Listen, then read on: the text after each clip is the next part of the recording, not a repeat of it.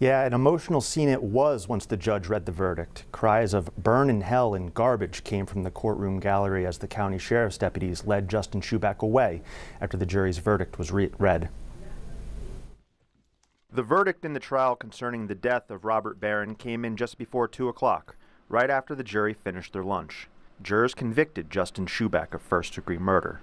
As Lackawanna County Judge Terrence Nealon read the verdict, Baron's widow, Maria, began to cry in the first row of the packed courtroom gallery. Her son, Bobby, slapped his hand against his leg. It was an emotional climax for a story that began more than seven years ago, when Baron disappeared from his restaurant in Old Forge.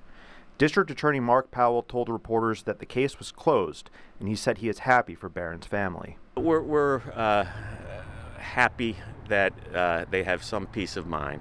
They've been through a great deal, and and they too never gave up searching for their dad. They're, they're, you know, Mr. Baron was the patriarch of that family.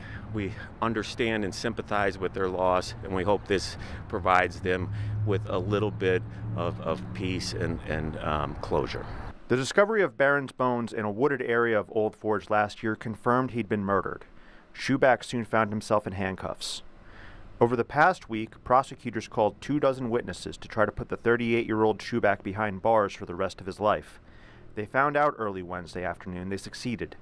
First degree murder carries a mandatory term of life in prison. After 10 hours of deliberation, the jury also found Schuback guilty of robbery and burglary. Defense attorney Bernie Brown tried to raise doubt among the jurors that someone else must have been involved. But in the end, the jury reached their verdict. As disappointed and devastating we are, we do respect um, their verdict and their their decision. Um, we may not understand it or um, understand how they came to that, but that's part of this. It took more than six years for the police to find Robert Baron's remains. It took almost 14 months for prosecutors to bring Schuback to trial, and it took a judge just a moment to say the word that Baron's family was waiting to hear guilty.